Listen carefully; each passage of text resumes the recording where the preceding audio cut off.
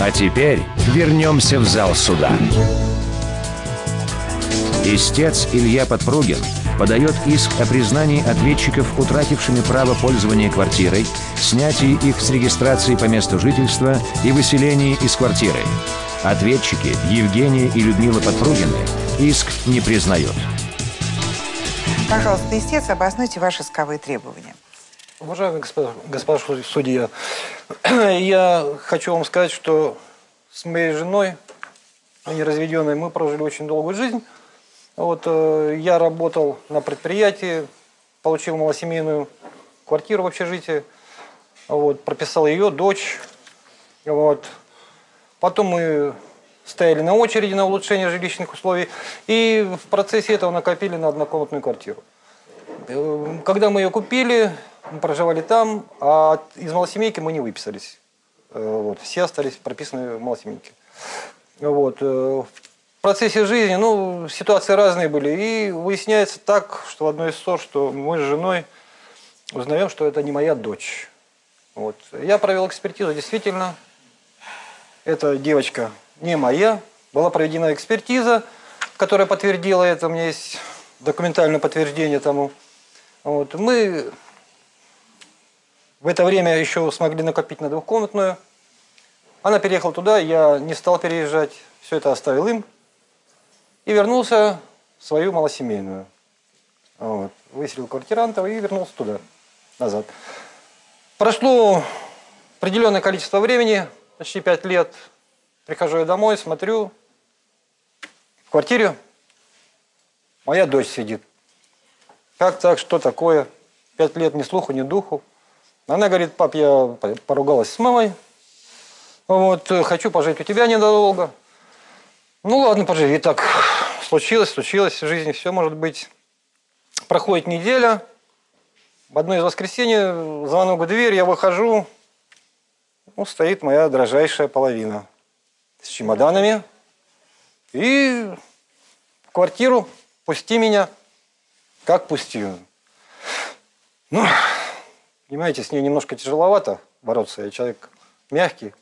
Ну, вот. Ну, слово за слово. Меня внесли в квартиру. Со мной случился инфаркт. Я попадаю в больницу. После больницы выхожу. Они уже там полноправные хозяева. Вот. Выделили мне уголочек за шкафчиком, за шкафом стенным. Живи, мол. Ну, эти ссоры, все это, сами понимаете – ругань. Я боюсь, что второго я не перенесу инфаркта. Сколько уже ваша супруга совместно с ребенком не проживала в той квартире, которую сейчас вы занимаете по договору социального найма? Сколько уже лет? Почти 10.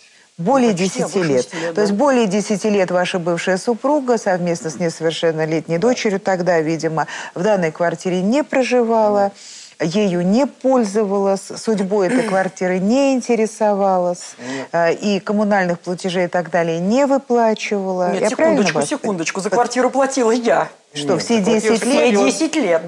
Илья. За свою. Нет, за простите, свою пожалуйста, за эту квартиру по договору... В которой э, живет он до сих пор 10 лет один, за эту комнату плачу, плачу я. И за свои квартиры за все плачу я. Илья, давай будем уже за честными. двухкомнатную квартиру.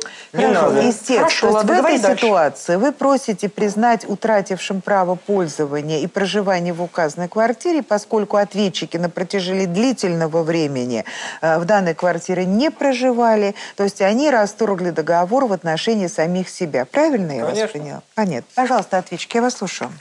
Зарегистрирована я у отца, я не знаю отношений, какие они у них, чья я дочь, я сама как бы не понимаю, да? Что ты говоришь, а? Нет, ну, у вас там свои дела, да, зарегистрированы я дядя. на определенном адресе, я знаю, это? где это.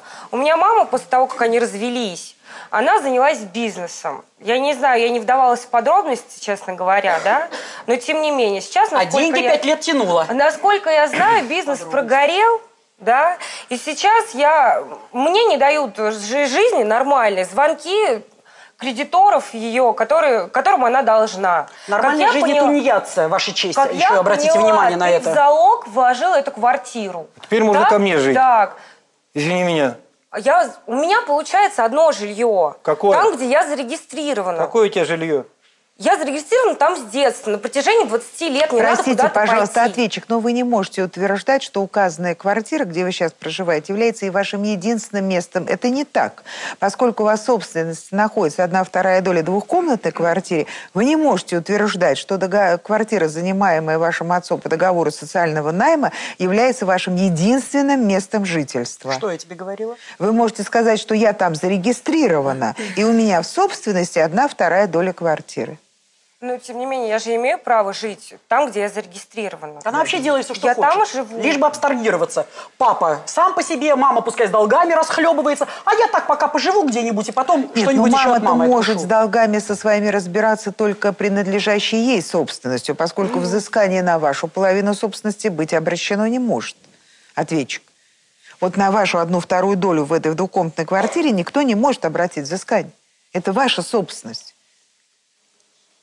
Ну, тем не менее, э, с нее же тоже, э, с нее пытаются взыскать эту ее половину. А мне, мне элементарно нужно тоже работу искать, да? Вот я не хочу. Так надо искать. Ты же я не хочу. Она в 6 лет не учится, не работает, она только деньги сосет.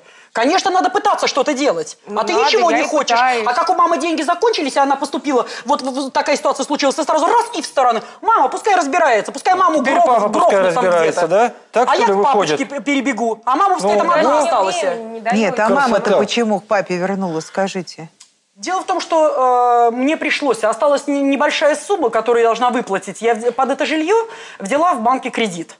И, естественно, под залог жилья. Мне нужно его выплатить. И мне пришлось сдать квартиру, Ваша честь. Понимаете, в чем дело? Чтобы расплатиться. Я э, э, пришла к Илье, так как я все-таки на этой квартире зарегистрирована. И я так посчитала, что какое-то время э, по договору с ним я могу какое-то время пожить там, понимаете, чтобы решить эту финансовую проблему. Ровно через год, потому что по 20 тысяч в месяц я ее на год сдала. 200 тысяч я возвращаю. Все.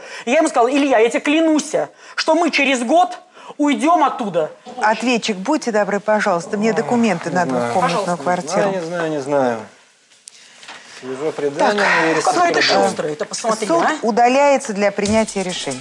А теперь вернемся в зал суда. Суд оглашает решение, принятое по делу. Э, Суд, заслушав исковые требования ИСА, возражения ответчиков по заявленным исковым требованиям, рассмотрев представленные документы, заявленные исковые требования удовлетворяет и признает ответчиц, утратившим право пользования квартирой. Суд выносит решение о снятии с регистрационного учета по месту жительства. И также суд выносит решение о внесении изменений в договор социального найма.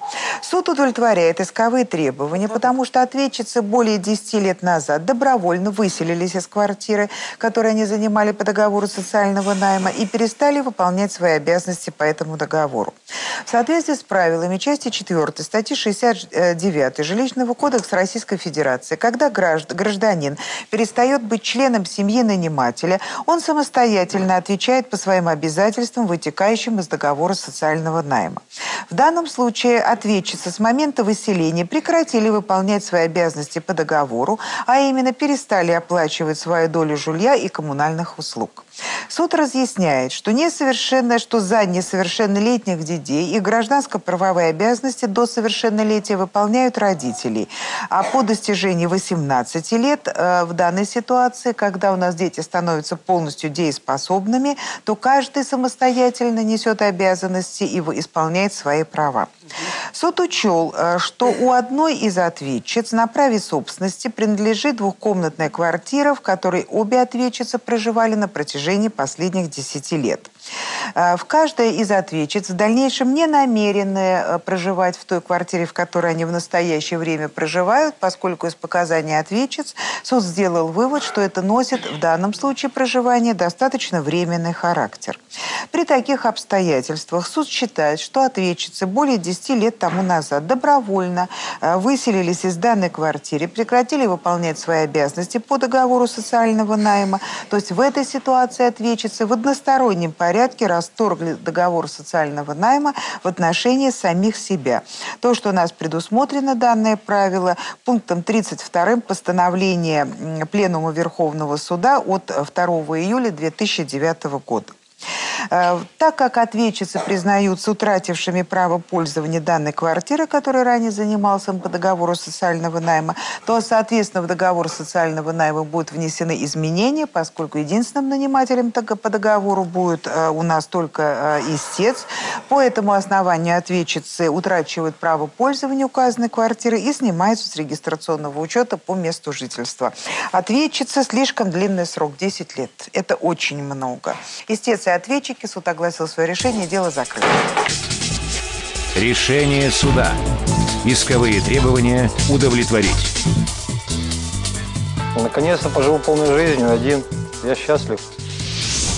Не знаю, зачем нужна была такая категоричность, мы могли бы договориться и сами. Я думаю, что можно было подождать бы все-таки годик.